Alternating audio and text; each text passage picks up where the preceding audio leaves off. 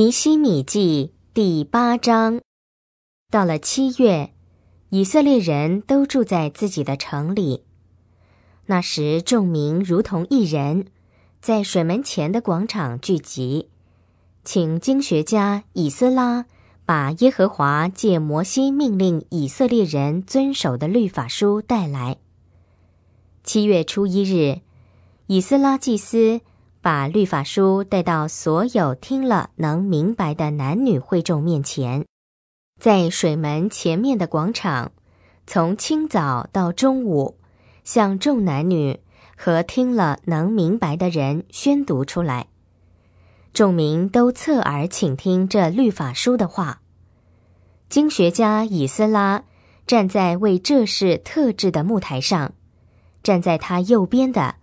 有马他提亚、是马、亚奈亚、乌利亚、希勒加和马西亚；站在他左边的有皮大雅、米沙利、马基亚、哈顺、哈拔大拿、萨加利亚和米舒兰。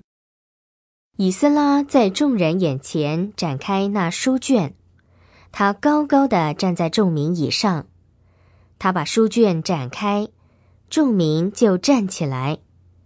以斯拉称颂耶和华至大的神，众民举手应声说：“阿门，阿门。”然后跪下，脸伏在地敬拜耶和华。然后立位人耶书亚、巴尼、士利比、雅敏。雅古、沙比泰、何地亚、马西亚、基利他、亚萨利亚、约萨拔、哈南和皮莱亚，就教导他们明白律法。众人一直站在原处聆听，他们宣读神的律法，把意义清楚翻译出来，使众民明白所宣读的。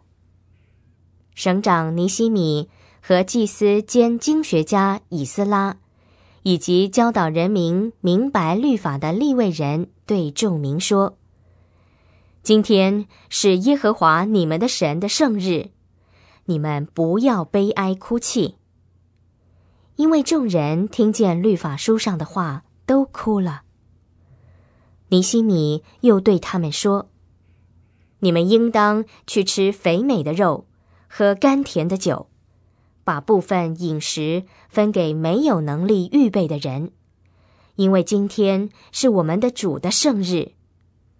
你们不要忧愁，因为靠耶和华而得的喜乐是你们的力量。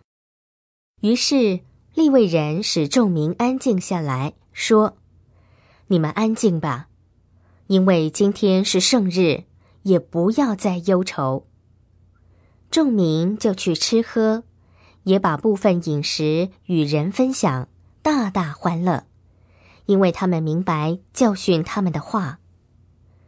第二天，众民的族长、祭司和立位人都聚集到经学家以斯拉那里，研究律法的话。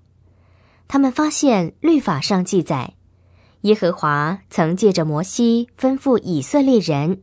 要在七月的节期中住在棚里，并且要在自己的城里和在耶路撒冷宣扬布告说：“你们要上到山上，把橄榄树枝、油木树枝、番石榴枝、棕树枝和树叶繁茂大树的枝子带回来，照着律法所写的搭棚。”于是众民出去。把树枝带回来，个人在自己的房顶上，在院子里，神的院中，水门的广场，或是在以法莲门的广场搭棚。从贝鲁归回的全体会众都搭了棚，并且住在棚里。从嫩的儿子约书亚的时候，直到那日，以色列人都没有这样行过。大家都非常快乐。从头一天直到最后一天，每天都宣读神的律法书。他们守节七天，第八天照典章有严肃会。